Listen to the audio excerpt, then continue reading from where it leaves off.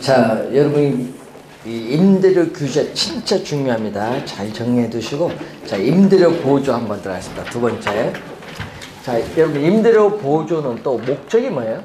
임대료 보조의 목적은 또 저소득 임차인에 있어서 임대료 부담을 또 낮춰주기 위해서 임대료를 보조해 주는데 직접 개입일까요? 간접 개입일까요? 간접 보조금은 간접이에요. 그래서 저소득층의 주택 문제를 해결해 주기 위해서 보조금을 지급을 하는데 그래서 국가가 임대료의 일부를 뭘로 무상 무상으로 보조해 주는 제도입니다. 그래서 보조를 해 주는데 누구에게 보조해 준다? 그 수요 수요자에게 보조해 줄 수 있어요. 수요자. 그럼 수요자에게 보조를 해 주는데 뭐가 있냐 하면 현금 보조라는 게 있어요. 현금. 현금 보조를 소득 보조라고 해요. 소득 보조. 그리고 집세 보조가 있거든요. 또 집세. 집세 보조는 이 임대료를 보조해 주기 때문에 이거는 가격 보조라고 해요. 그래서 여러분 우리 보조하면요. 현금 보조도 있고요. 가격 보조도 있고요. 현물 뭐 쌀이나 뭐 라면 주는 이런 현물 보조도 있어요. 근데 여러분 항상 여러분 머릿속에 탁 도는 건 여러분 입장입니다. 소비자 입장에서 가장 만족 최고는 현금이야. 현금. 그건 꼭 기억해야 된다. 현금이 무조건 최고. 왜 그래요? 현금 보조해 주면은 여러분 선택의 폭이 넓어져. 상품 선택의 폭이 넓어져서 소비함으로써 얻는 만족 효용이 극대가 돼. 예, 그래서 소비자 효용 측면에서 뭐가 최고? 현금이 최고. 자, 그래서 임대료의 일부를 정부가 현금으로 보조해 주면은 현금 보조액. 자, 여러분 현금 보조액이 얼마? 그래서 30만 원을 보조해 줬다. 현금. 그러면 현금 보조해 준 금액만큼 현금 보조해 준 금액만큼 어떻게 돼요? 여러분 우리 월, 월 100만 원 받고 있는데 30만 원 현금 주면 이제 100만 원이 아니라 얼마가 되는 거예요? 130 되는 거예요. 예? 실질 소득이 더 높아져요. 예? 이전보다 실질 소득이 더 높아지면서 이전보다 뭐가 돼? 실질 소득이 높아지니까 임대 임대주택이라는 소비도 뭔다? 증가해요. 여러분, 이전보다 임대주택 소비가 더 증감으로써 이전보다 임대주택을 소비함으로써는 만족 효용도 뭐가 돼요? 효용도 높아져. 이전보다 높아지는 거예요. 보조를 해주면은. 근데 문제는 임대주택만 소비가 늘어나는 것이 아니에요. 실질 소득이 증가하면은 아까 상품 선택의 폭이 다양하다 보니까 임대주택 소비만 증가하는 것이 아니라 임대주택 이외 이외에 상품의 소비도 뭐 한다? 증가를 하게 돼. 임대주택 이외의 상품 소비도 증가한다. 상품 선택의 폭이 다양하기 때문에 그렇습니다. 자, 그런데 집세를 보조해 준다. 여러분 임차인이 임대인과 임대차 계약을 맺어서 들어가서 살아요. 살 때 보조해 주는 거야. 안 살면 보조 안 해주는 거지. 그러니까 요거는 또 집세 또 보조해 준 금액. 집세 또 보조해 준 금액이 30만 원이다. 그러면 시장에 여러분 시장에 임대료는 얼마? 60만 원인데 30만 원을 보조해 주는 거야. 그럼 또 집세 보조해 준 금액만큼 임대료가 어떻게 돼요? 임대료가 얼마 자기는 60만 원 내야 되는데 30만 보조 받으니까 얼마만 내면 돼요? 30만 원만 내잖아요. 그래서 그럴 때 우리는 상대제란 말 써요. 시장의 임대료는 변화가 없지만 본인이 부담을 해도 임대료는 상대적으로 떨어져. 30만 원만 내면 되니까 이걸 항상 상대적으로 뭐 한다? 하락한 셈이 돼. 상대적으로 임대료가 하락을 하니까 이전보다 또 임대주택 소비가 뭐 한다? 증가죠. 소비해야 받으니까 소비가 거예요. 그러니까 요 뭐 가격, 임대료 가격 보조라고 하죠. 그러니까 뭐 두 경우 모두 하여튼 임대주택 소비는 증가합니다. 그래서 정부가 임대주택이라는 소비를 증대시키고자 하는 정책 효과 면에서는 임대주택 소비할 때만 집세를 보셔주는 요게 좋고요. 근데 소비자 효용을 증대시키는 목적은 어느 게 좋아? 현금. 그래서 항상 현금이 최고입니다. 그래서 여러분 우리 옛날에 보면요 있죠 구정이나 추석하면은 꼭이 법주 하나 들고 뭐 물건 사려고 그 싫어해요. 아, 자식들 다 가져오니까. 그러니까 그 무조건 뭐해? 얘기하죠. 가끔 불러놓으면 나는 현금이 좋다 얘기하죠. 현금이 최고에 그거 갖고 다양하게 살 수 있으니까 부모님이. 그래서 여러분도 이번에 현금 드리세요. 자, 그래서 임대주택 관련해서 요건데, 그럼 수요자에게 보조도 해주지만요, 또 누구에게 보조해 줄 수 있어요, 또? 공급자에게 또 보조해 줄 수 있어요. 그럼 공급자에게 이 건설 금, 조달 금리를 좀 낮게 해서 지원을 해줄 수 있어요. 그러면은 이자 부담이 뭐 한다? 낮아지기 때문에 생산비가 하락을 해요. 생산비가 하락을 하게 되면 장기, 여러분 늘 얘기지만 단기에는 공급은 변화가 없어요. 부동산은 단기에는 공급은 변화가 없는데 생산비가 하락을 하면은 장기적으로 장기적으로 임대주택 공급량을 뭐 한다? 증가를 해요. 장기적으로. 임대주택 공급량이 증가함으로써 임대료는 뭐다? 공급량이 이전보다 많아지면 당연히 임대료는 공급량이 많아지면 임대료가 떨어져요. 임대료가 하락하면서 장기적으로 저소득 임차인에게 혜택을 줄 수 있는 거예요. 자, 예를, 예를 들어 볼까요? 자, 여러분이, 예? 이제, 요 그림은 제가 여러분 이해를 돕기 위해서 그리는 거예요. 자, 현재, 시- 현재 시장의 뭐다? 균형. 예? 현재 임대료다. 그러면 현재 시장의 임대료가 P0예요. 그러면 균형 거래량은 뭐다? Q0예요. 그런데 보조를 해주면 어떻게 돼? 정부가 보조를 해주면은 저소득 임차인의 임대주택에 대한 수요는 뭐한다? 증가해요. 증가하는데 아까 했지만 단기적으로는 공급은 변화가 없어요. 단기. 그러면 현재의 임대료 피재료에서 수요가 증가함으로써 어떻게 공급은 변화가 없기 때문에 이만큼의 뭐가 발생하냐면 초과 수요가 발생해서 이 수요자들의 경쟁에서 임대료는 뭐죠? 피재료에서 피완으로 만다 상승해요.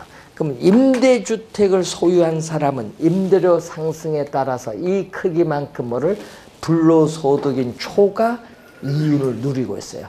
초과 이윤을 누리니까 어떻게 돼요? 공급이 이제 하겠죠. 그럼 공급을 하는데 언제까지? P1이 다시 초과인이 없을 때까지. P1이 뭐? P0, 초과인이 없을 때까지 우리는 공급을 늘려줘요. 그래서 원래의 임대료 수준까지 하락하면서 장기적으로, 장기적으로 임대주택 공급량이 이렇게 뭐 한다? 증가한다는 내용이에요. 단기, 장기 의미를 간단하게 한 거 언급을 해봤어요. 근데 주의해야 될 거는 우리나라는 보조금 지급하고 있을까요, 지금? 보조 안 받아보시니까 모르죠. 전철 타면 가끔 광고판에 보면 주거급여 신청하세요. 보신 적 있으세요? 예? 있어요. 그, 우리 박근혜 정부 시절에 이제 3년 전 10월부터 시작을 한 제도예요. 그거 우리 뭐라고 하냐? 주택 바우처 제도예요.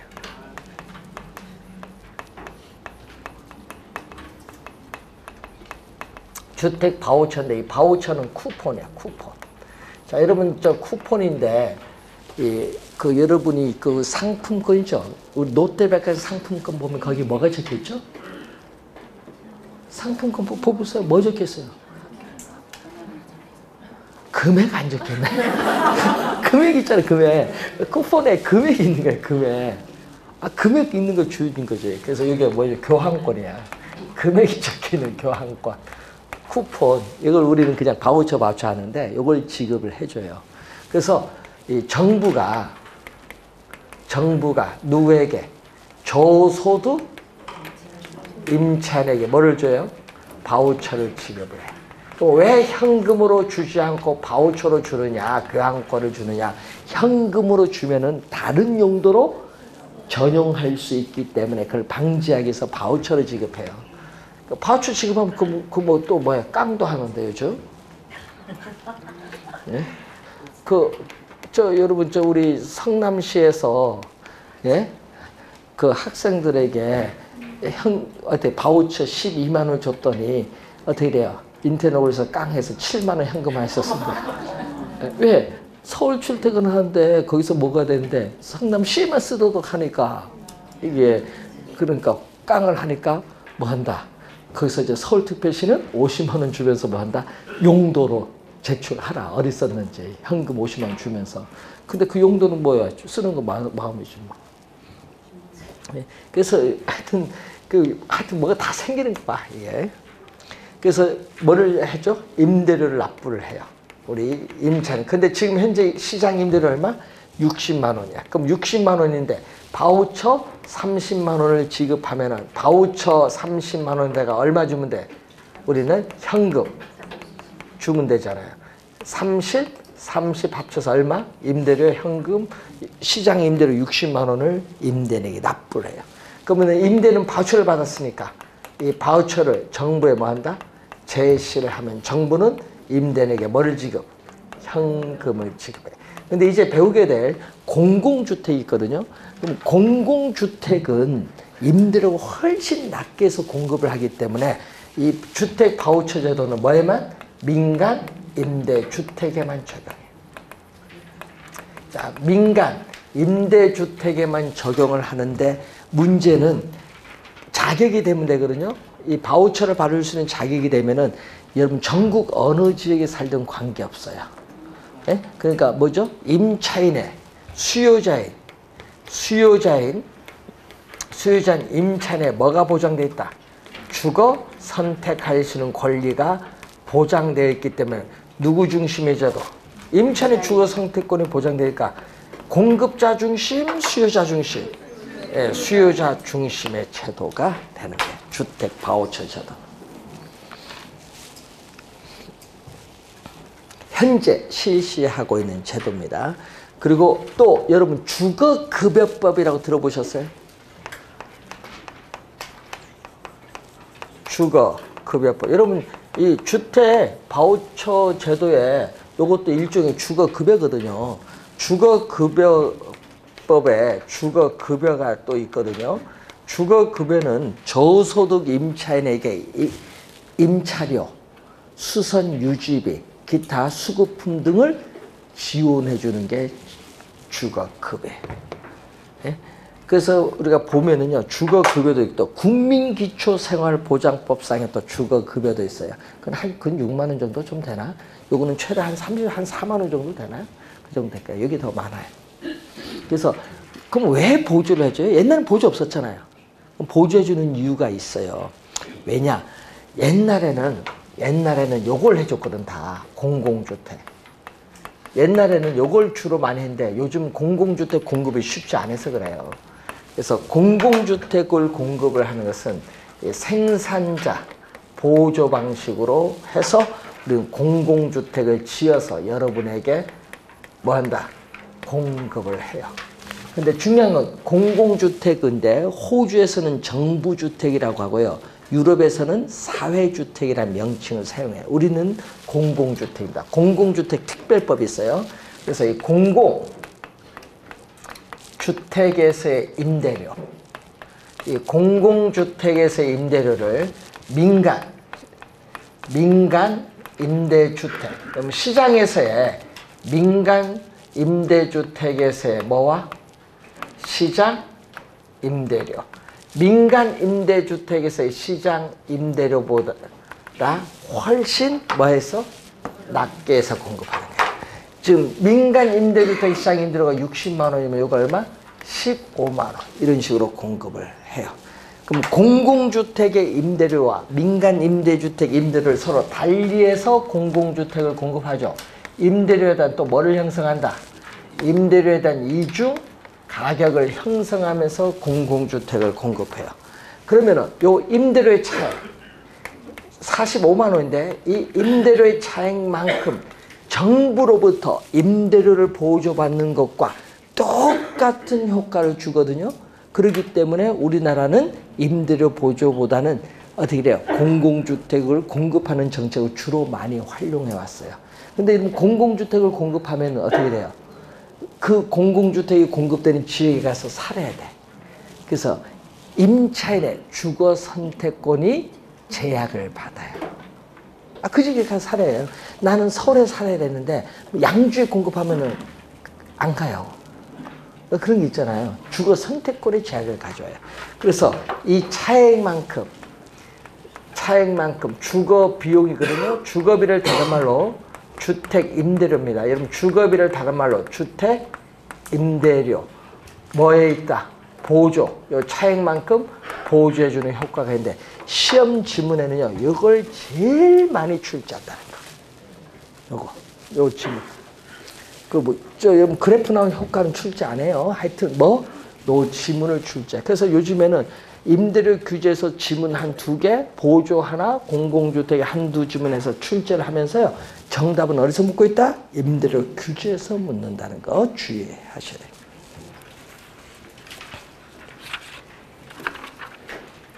자, 여러분 교재 167페이지에 민간 임대주택에 관한 특별법상의 용어에 거기에 기업형 임대주택이 있어요. 4번에.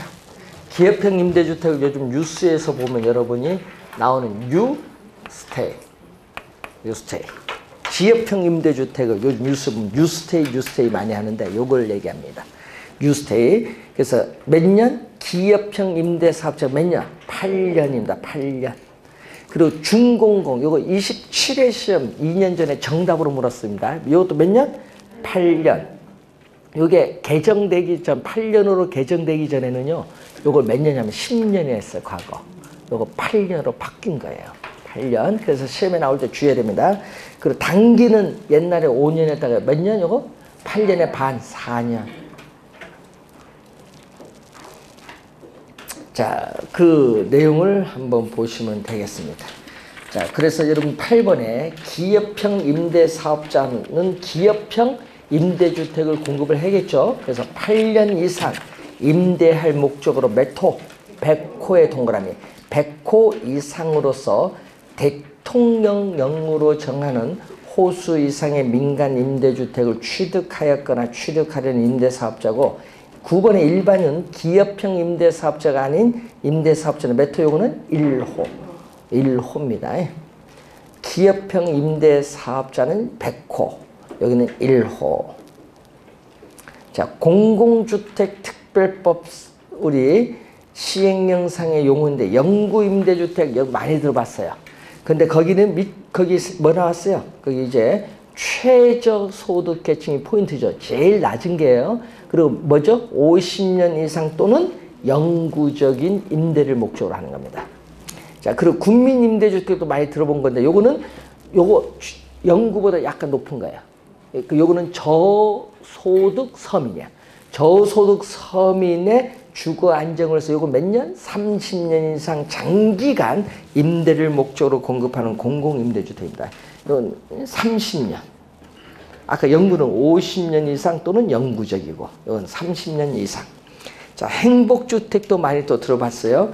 뭐죠? 우리 행복주택 하면은 우리가 누구 뭐 젊은 층인데 거기 뭐, 뭐 신혼 부부라든지 또 사회 초년생, 대학생, 이 젊은 층의 주거 안정을 목적으로 공급하는 공공임대주택입니다. 여러분 행복주택은 민간임대주택이 아니라 뭐죠? 공공임대주택이라는 거. 장기전세주택 이것도 두 번 정도 출제했는데 여러분 과거에는 30년이라는 게 명시됐다. 이게 개정되면서 30년이 없어졌어요. 그래서 어떻게 돼요? 전세 계약의 방식으로 공급하는 공공임대주택입니다. 전세 계약. 옛날에 뭐 30년이라고 했는데 이게 없어졌어요. 법에서. 자, 분양 전환 공공임대주택이 있죠. 여러분 요즘 많이 하죠. 보통 10년 임대 살다가 끝나면 뭐 전환해 주는 거. 그거잖아. 분양 전환 공공임대주택. 그래서 일정 기간 임대 후에 분양 전환할 목적으로 공급하는 공공임대주택입니다. 요즘 보니까 10년 얘기 많이 나오잖아요. 보면. 그 기존 주택을 매입을 하는 임대주택이 있고 또 기존 주택을 뭐해? 전세 임대주택이 있어요. 그래서 여러분이 그 개념들을 요즘 나오는 개념들을 한번 확인해 보시면 돼요. 그러면 시험 지문에 요 용어들이 가끔 출제를 해요. 출제원들이.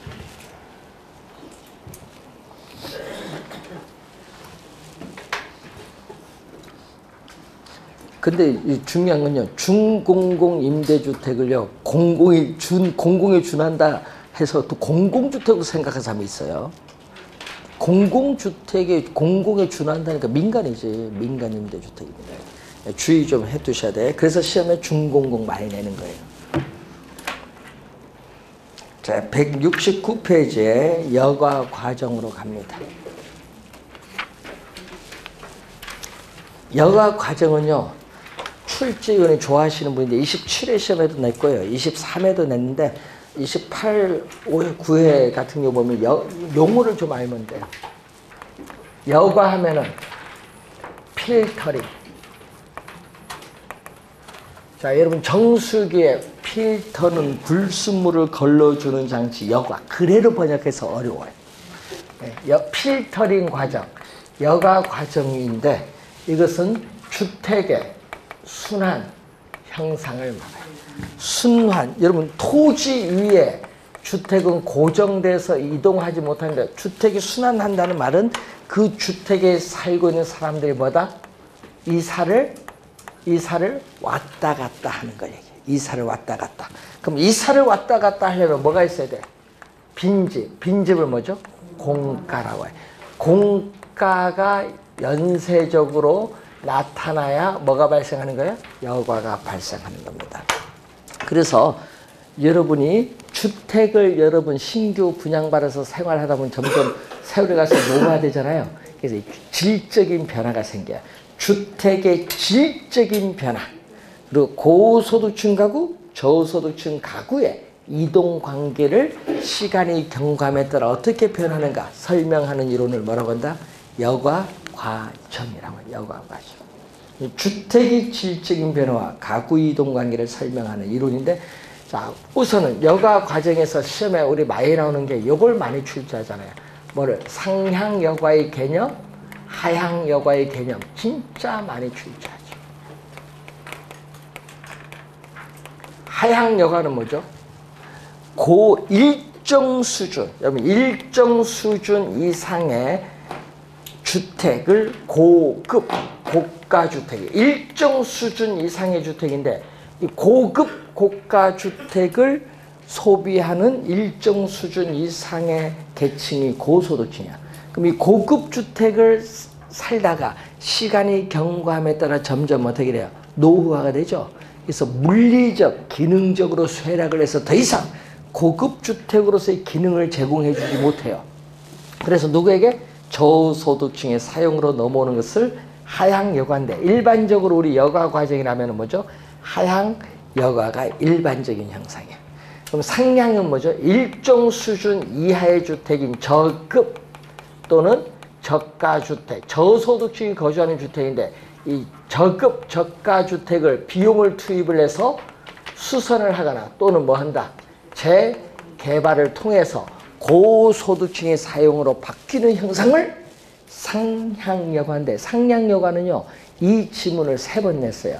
주택의 상향여가 과정은 소득이 증가함으로 인해서 저가주택에 대한 수요가 감소되었을 때다. 감소의 동그라미. 이걸 시험에 증가로 세 번 출제했어. 그 지문을 증가로 15회, 15회 추가 시험, 그리고 23회 시험. 그 지문을 세 번 정답 물었어요. 감소를 뭘로 출제했다? 세 번 다. 증가로 출제한 거예요. 말을 그것만 딱 바꿔서 출제. 상향 여과의 개념, 하향 여과 이해, 이해하고 있냐? 21회 시험에 또 정답 물었어요. 개념을 또 정답 지문으로 또 물었습니다. 개념을 많이 출제를 해요.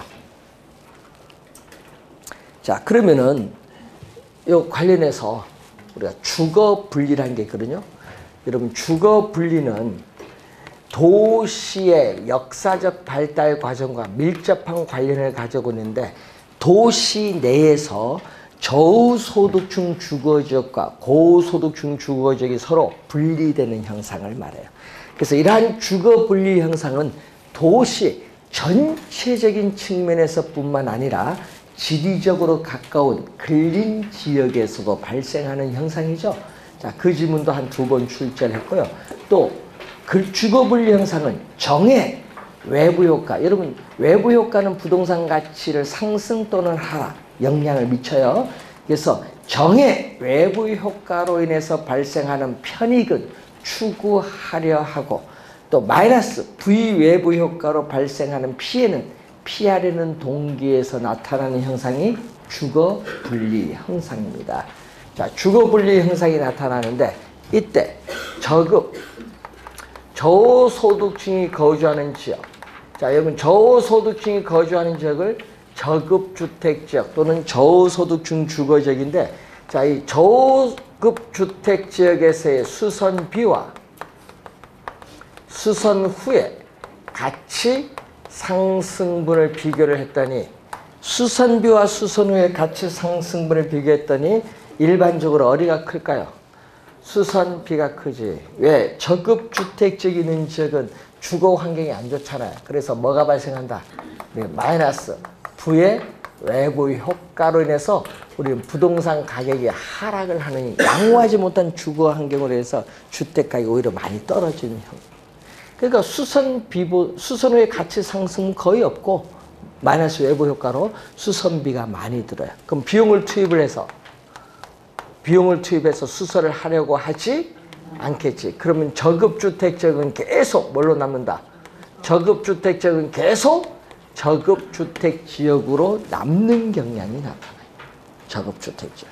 그러면 고급주택 지역은 어떻게 돼요? 고소득층 주거 지역, 고급 주택 지역은 주거 환경이 상당히 좋거든요. 주거 환경이 좋으니까 뭐다? 정 플러스 정의 외부 효과가 발생해요. 정의 외부 효과가 발생하는데 여기서는 수선비와 수선비와 수선 후에 같이 상승분을 비교했더니 어디가 더 크다? 정의 외부 효과로서 수선비보다 수선 후의 가치 상승분이 더 여기는 커요. 그렇기 때문에 비용을 투입을 해서 계속 뭐 한다? 수선을 하기 때문에 고급 주택 지역은 계속 뭘로 남는다? 고급 주택 지역으로 남는 경향이 있어요. 그래서 저급 주택 지역은 계속 저급 주택 지역으로, 고급 주택 지역은 계속 고급 주택 지역으로 남는 경향이 있기 때문에 도시 내에서 저급 주택 지역과 고급 주택 지역이 분리되는 주거 분리 현상이 그래서 나타나는 거예요. 그럼 이 지문을 시험에 내느냐? 아니죠. 다른 걸 내겠죠. 이제 지금 설명하는 잘 봐야 된다. 수선비보다 수선 후에 주택 가치 상승분이 크면은 저급 주택 지역의 저소득층 가구는 수선을 할 수도 있고 수선을 안 해요. 수선을 안 하면요. 저급 주택 지역은 계속 뭐야? 저급 주택 지역으로 남아요. 그러면 수선을 왜 안 하느냐? 그게 중요하죠, 또. 수선 안 하는 이유가 뭐예요? 수선 저급 주택 지역에서 수선 비보다 수선 후에 가치 상승분이 높다고 하더라도 수선을 못하는 경우에는 저급 주택 지역에 살고 있는 저소득층 가구들에서의 소득이 뭐다? 낮기 때문에 그렇지. 저소득 때문에 그래요. 소득이 낮기 때문에 마음은 굴뚝 같은데 못하는 게 돈이 없어서.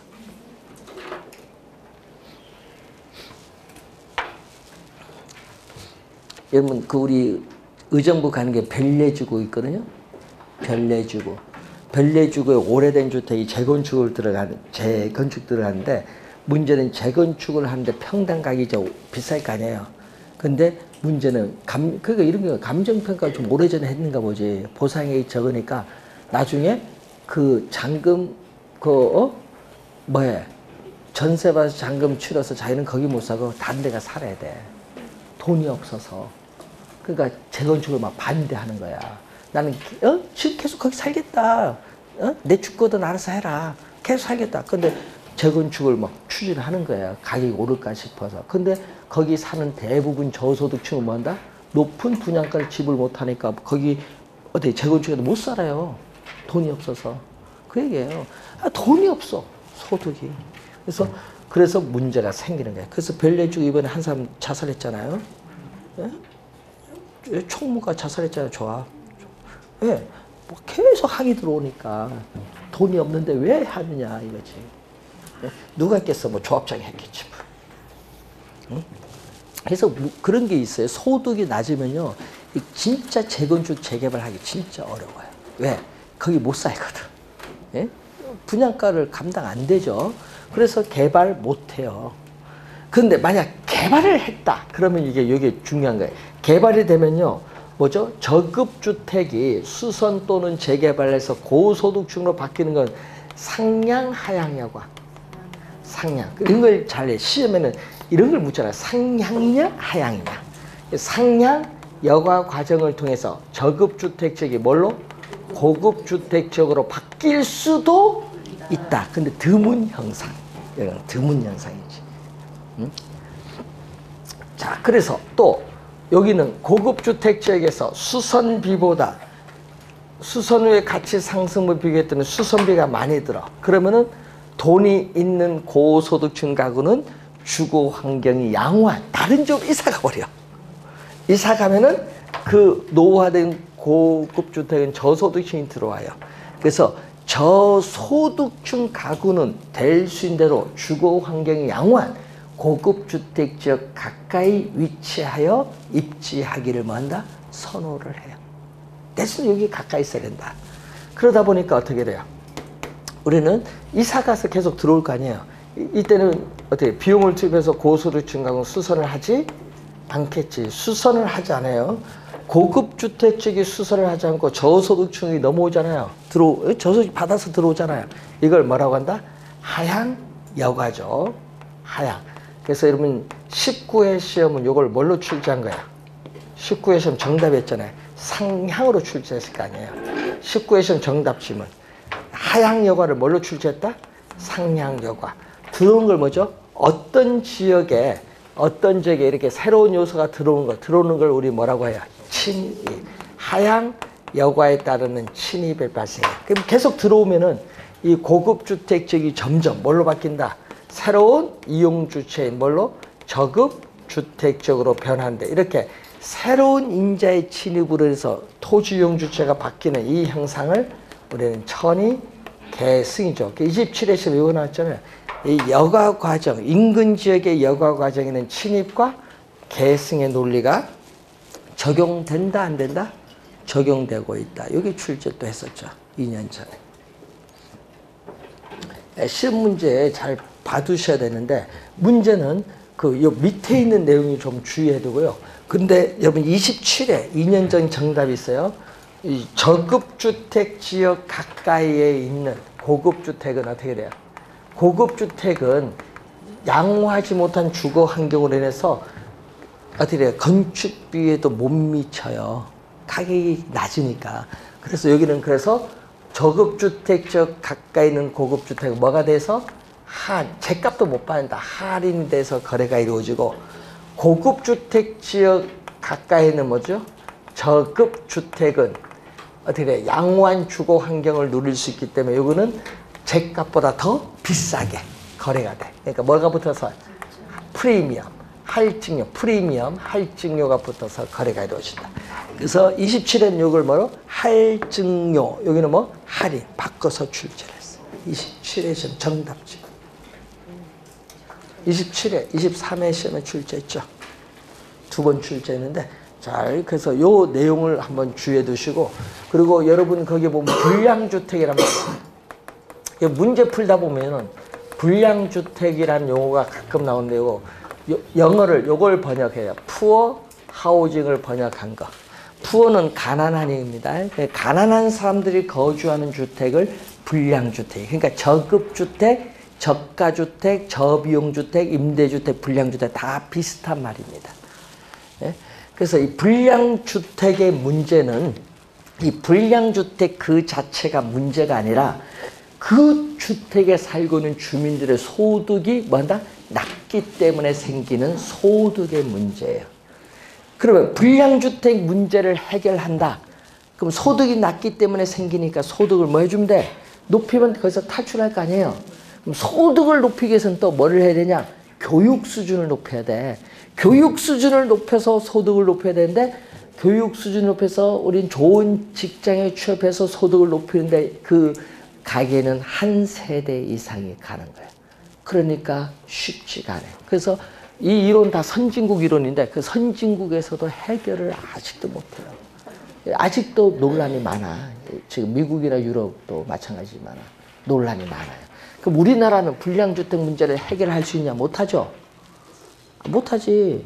그럼 거기 사는 사람이 재건축을 하면 어떻게 돼? 높은 가격 지불 못하니까 다른 집 가서 또 불량주택 또 생기는 거예요. 그러니까 여러분 재건축 재개발을 해- 하면은 그 높은 가격 지불하지 못하는 계층 그 지역에서 쫓겨나는 거예요. 쫓겨나는 거예요. 그래서 여러분이 재건축 재개발의 쉬- 좋은 면도 있지만은 나쁜 면도 있어요. 그래서 외국에서는 웬- 웬만하면은 재개발 재건축을 안 해요. 외국에서는 왜냐? 외국은 안 하는 이유가 뭐냐? 단 하나가 조건 때문에. 여기 한번 가보세요. 그 재개발 재건축 안 해요. 하나의 조건 때문에. 왜? 표가 바뀐다. 선거에. 그래서 안 해요. 우리는 하죠. 예? 우리는 하잖아요. 예? 그러니까 표가 바뀌어버려. 그 지역이. 소득 계층이 바뀌면 표가 바뀐다니까 선거에. 그래서 그걸 외국은 있기 때문에 절대 안 해. 그러니까 외국은 예측 가능해 표가. 저기는 민주당, 저기는 공화당 이런 게딱 가능해. 그러니까 우리 보통 보면 예측 다 하잖아요. 그래서 꼭 어디서 미국 대통령 플로리다주에서 거기서 4년 동안 이 사람 잘 했나 보다 거기서 갈리는 거예요. 다 예측 가능해요. 우리는 예측이 안 돼. 국회 선거 보세요. 예측이 안 돼. 예? 그래서 그게 다 이런 문제가 생겨. 시험 문제에 요거 좋아하신 분은 가끔 내요. 그래서 시험 문제 여러분이 관련해서 우리 15회 시험, 10, 19회 시험, 23회 시험, 27회 시험을 출제.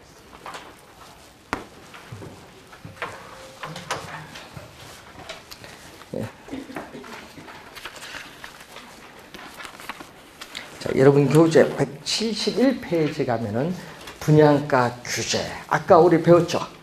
분양가 규제는 가격 통제주 최고 가격제의 일종이고 아까 목적 배웠죠? 두 가지. 근데 분양가 규제를 보게 되면은 여러분 가격이 주어지죠. 주어지죠? 시장에서의 수요, 공급이 주어져요. 그러면 시장에서 이게 바로 뭐죠? 균형 가격. 균형 가격. 여러분 19회 시험은 이것을 균형 가격 대신에 뭘로 출제했다? 시장 가격으로 출제했어요. 자, 여기는 균형 거래량이 주어졌죠. 근데 이 가격이 너무 높기 때문에 이 가격보다 낮은 수준에서 뭐 한다? 규제를 해요. 이 규제 가격이 우리는 분양가의 뭐다? 상한선. 분양가의 상한선이니까 무슨 가격? 상한. 19회 시험에 상한 가격으로 출제했거든요. 또는 이 빨간 선, 법이 허용하는 범위 내에서 받을 수 있는 최고의 가격, 최고 가격이에요. 자, 그러면은 이 가격 차이만큼 건설업체는 손해를 봐요. 근데 단계는 공급은 변화가 없어요. 손해를 보니까 수익성이 악화되면서 장기, 단계는 공급은 변화가 없고 장기로 갈수록 뭐는 신규 주택에 대한 공급량이 점점 뭐 한다? 줄어들어요. 신규 주택 공급량은 줄어들고 또 이 가격 차이만큼 분양받으면은 시세 차이, 전매 차익을 누릴 수 있기 때문에 아파트를 분양받고자 하는 수요량은 뭐한다?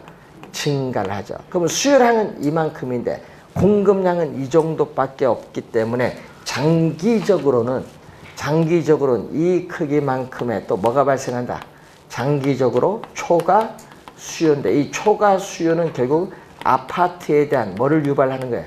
투기적 수요를 유발하는 거야. 이러한 초과 수요로 인해서 또 장기적으로 뭐가 형성? 암 시장이 또 형성이 되겠죠. 그럼 이 공급량 수준에서 우리는 소비자가 기꺼이 지불할 용의가 있는 가격, 이게 암 시장에서 형성되는 가장 높은 가격이에요. 암 시장 가격, 규제 가격. 그래서 또 장기에는 어떻게 돼요? 또 뭐가 형성된다? 우리는 이중 가격이 또 형성이 돼. 장기에는 그러면은 어떻게 돼? 요 가격 차이만큼 뭐가 붙었냐면은 이걸 우리는 프리미엄이라고 해요. 프리미엄. 그래서 여러분이 P 얼마 붙었다는 게이 P가 여기서 나온 P예요. P 뭐 얘기 많이 하죠, 여러분이. 프리미엄이에요. 근데 이 프리미엄이 프리미엄이 크면 클수록 프리미엄이 크면 클수록 암 시장에서 분양권에 대한 불법적인 전매가 자주 발생합니다. 여러분 우리 투기 과열지구로 지정 아까 하면 주택법에 분양권 전매 제한 조치를 취할 수 있죠. 그렇다고 전매 안 합니까? 여러분 먹고 살아야 될 거 아니에요. 하죠. 하잖아요. 합니다. 그런데 문제는요. 분양권 불법 전매를 했어요. 예? 자기가 분양을 받았는데 이 중도금 규제로 인해서 내기가 어려운 거야. 예? 그러니까 피 1억 받고 넘겼어. 계약금 걸어서 이제 피 1억 받고 계약금도 돌려받고 그 누구 산 사람한테 돌려받고 누가 납부해 이제? 그 사람 명의로. 채권받은 사람 명의로 누구 납부해? 산 사람이 납부하고 잔금 다 치렀지. 근데 잔금 치른 날딱 가는 게야 근데 문제는 아파트 분양 가격보다 예? 7억이 올랐어. 그러면 이제 판 사람이 속이 아플 거 아니에요 예? 그래서 뭐 한다 자기들 다 날아오니까 관심 늘 갖잖아요 그러다 보니까 계약 무효를 주장을 하겠지 그냥 무효 주장할 거 아니에요 7억인데 자기는 1억 받고 넘겼는데 그래도 안 돼. 예? 우리는 그럴 땐 다 뭘 해줘? 공증을 해놓잖아요. 그래서 문제는 불법에 대한 책임만 질 뿐 소유권은 이전된 겁니다. 소유권 넘어갔어요.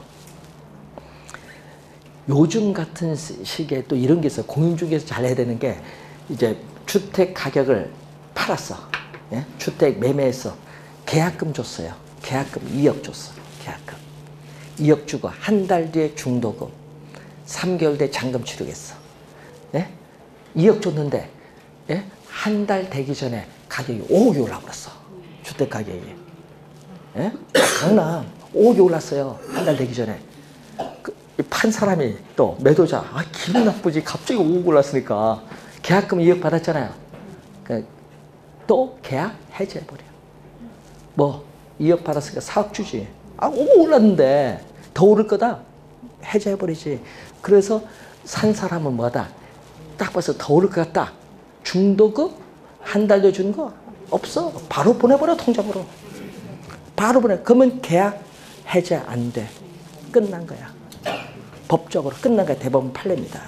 그런 거 잘해야 돼. 중개업자. 예? 오를 것 같으면 얘말 빨리 보내버리세요. 그러니까 바로 보내버리세요. 중도금. 그럼 그냥 계약 끝난 거예요.